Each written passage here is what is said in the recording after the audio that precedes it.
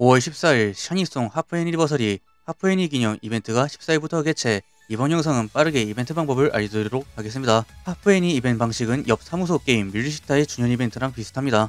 이벤트 기간 동안 라이브를 하고 라이브에서 얻은 점수를 통해 순위를 매기는 시스템 하지만 샤니송은 포인트 랭킹 제도가 아닌 엔자마스의 프로듀스컵처럼 팬 동원 수를 이용해서 랭킹을 매깁니다. 팬수의 경우 라이브를 클리어하며 얻는 팬수를 통해 동원 팬수라는 total 랭킹에 반영 아이돌이 얻는 개별 팬수를 통해 랭킹을 매기는 시스템입니다. 각 아이돌마다 랭킹이 따로 있기에 다양한 아이돌 혹은 한 아이돌로 통칭 3대 덱을 만들어서 돌려도 상관없습니다. 본 이벤트 역시 밀리 주년이나 엔자마스 프로듀스컵처럼 휴식 시간이 주어지며 휴식에 들어가면 팬수와 메달을 얻을 수 없습니다.